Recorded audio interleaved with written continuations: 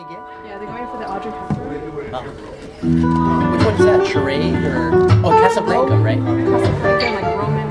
Roman holiday. Yeah, that one. Oh. Yeah, it was weird because I didn't realize your dad. Yeah, your name? I'm like, oh,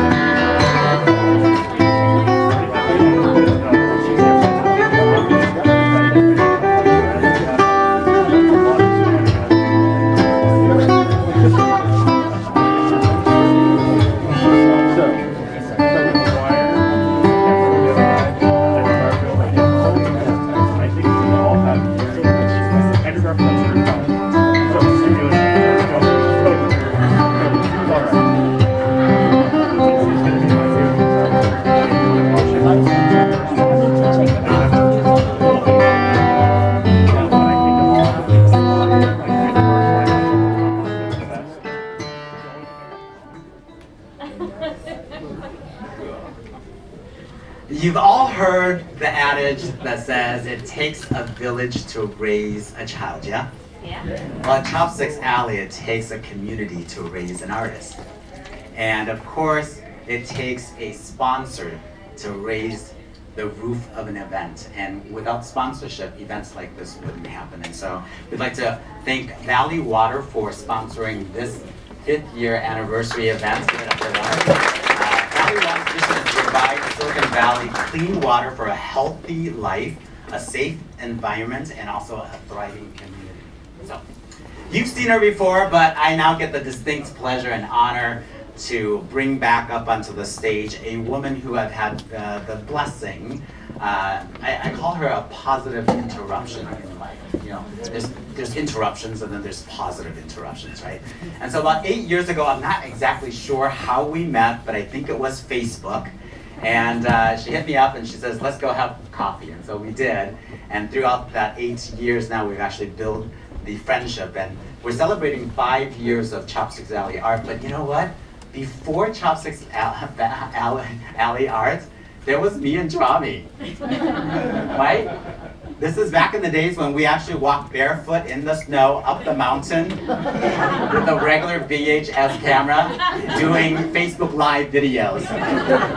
And we did. We was just like, you know, we were talking about topics about, you know, uh, being in the gap where we were born in Vietnam, came to America by boat. I was actually a boat person and proud to be.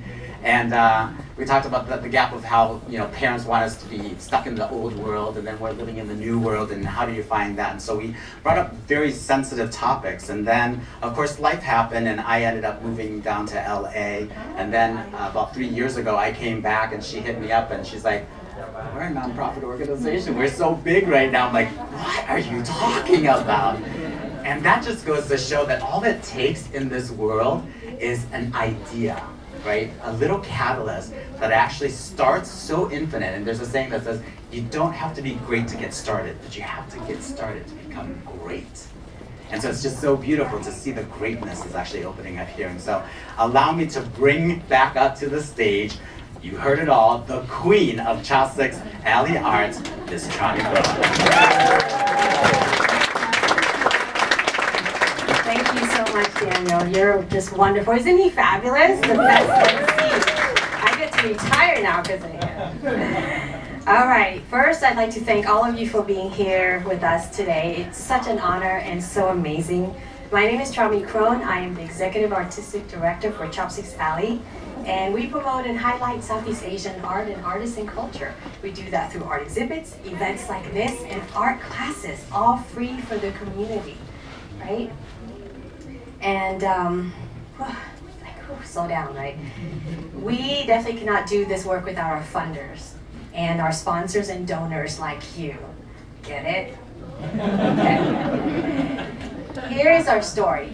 Besides the climbing up the hill and barefoot in the snow, though there's really no snow here. But you know, we exaggerate slightly. So let me spare you know you that and let's get some truth in here. We, um, in 2016, created a food group. That's why there's always food at Chopsticks Alley, and that's why the name came from. And we then created a multimedia publication, also called Chopsticks Alley, promoting Vietnamese art folks, stories, as well as Filipino folks and stories.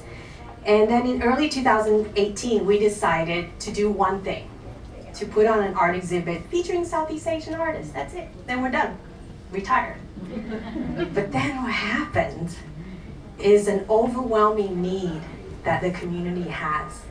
From that one exhibition, we got to witness a community who's in need, and not just one need, but so many needs, endless.